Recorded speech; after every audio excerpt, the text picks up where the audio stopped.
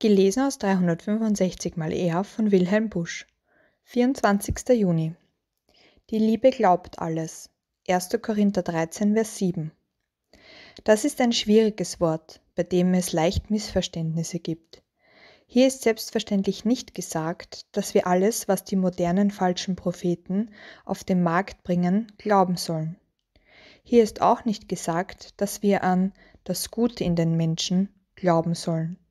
Das widerspräche der ganzen Bibel, die erklärt, das Menschenherz ist böse von Jugend auf. Was soll das bedeuten? Die Liebe glaubt alles. Ich habe das Wort begreifen gelernt durch ein kleines Erlebnis.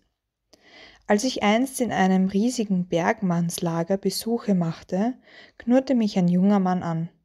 Was wollen Sie denn? Ich bin der evangelische Pfarrer.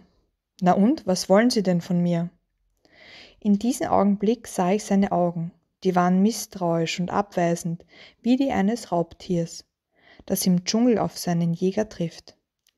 Erschrocken dachte ich, so weit haben wir Menschen es in dieser gefallenen Welt gebracht, dass wir uns wie Raubtiere begegnen. Aber handelte denn der junge Mann nicht klug? Wer meint es denn gut mit uns? Kann man denn anders handeln? Ja, man kann.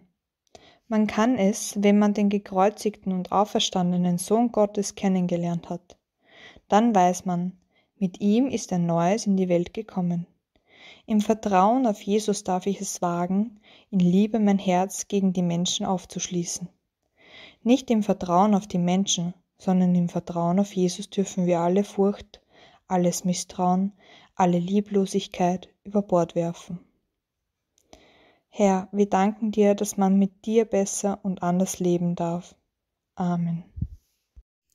Ich kann dir den Weg zum ewigen Leben gerne zeigen, aber klingeln musst du schon selbst. Jesus wartet auf dich. Sprich mit ihm im Gebet und lade Jesus in dein Leben ein.